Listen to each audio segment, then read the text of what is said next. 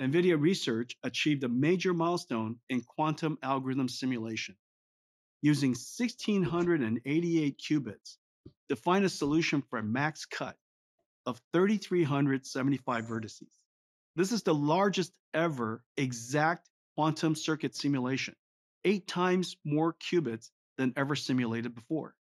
With cuQuantum on DGX, quantum computer and algorithm researchers can invent the computer of tomorrow with the fastest computer today. The Quantum DGX appliance will be available in Q1. Python is the programming language of scientists and Being able ML to and AI researchers. Reasonably Python has simulate a rich ecosystem of life. quantum computing is an interesting problem. Pandas for data analytics on data frames, NumPy for Yeah. analytics of n-dimensional arrays. The problem with quantum computing is Scikit-learn. I do have a question about accuracy. SciPy for scientific computing, PyTorch for deep learning, and Network Well, just X like, for studying graphs Uh, and networks. we presume it's There are nearly modeling the same 20 behavior. so the way quantum computing works is you have a small number of input Today, states and a small number of output states, but the number of intermediate states could be huge. for NumPy.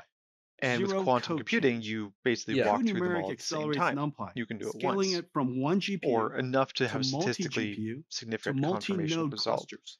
To to simulate it, you need to walk through it. Yeah, exactly. The parallel basically Monte Carlo simulation or something a little more clever, which is where this comes in, is pandas like. to to get that accuracy. And you still end up with a, stati- with a statistical result, is network but you end up with the correct statistical. They are part result. of NVIDIA's Rapids open the source same one Python you'd get if you ran kit. quantum simulations. Rapids has been Um, downloaded half a million So times what are they using Well, instead of Monte Carlo? year. They're being clever over about it. four times more And than it, last like in theory, you could use instead of random sampling, you cuNumeric could walk through every Legion, conceivable path tasks through your CPU, intermediate your intermediate GPU, stage, and DPU computing units. and you actually do every across a single data one, center and, very and calculate the probability of each as a modern transition, CPU and then the weight the outputs, and then you end up with an exact and load store distribution at the far side. Like modern out-of-order execution Right? You CPUs you that exhaustively automatically search your extracts space.